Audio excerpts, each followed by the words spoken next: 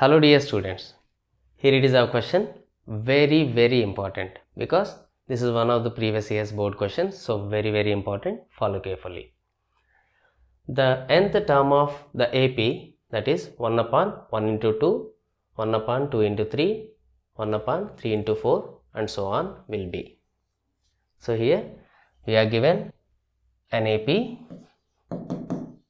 that is 1 upon 1 into 2, 1 upon 2 into 3, 1 upon 3 into 4 and so on.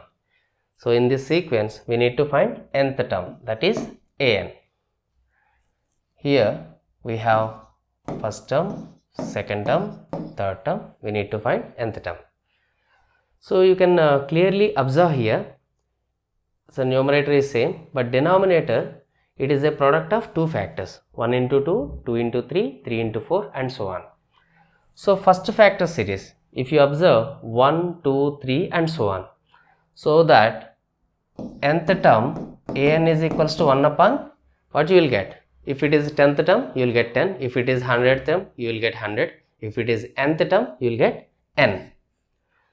And second term 2 here which, which means 1 more than the first factor that is 1 plus 1 2 here 2 plus 1 3 here 3 plus 1 4 so next factor series the nth term is n plus 1 therefore nth term of this sequence must be 1 upon n into n plus 1 so this is our required nth term of this sequence. This is it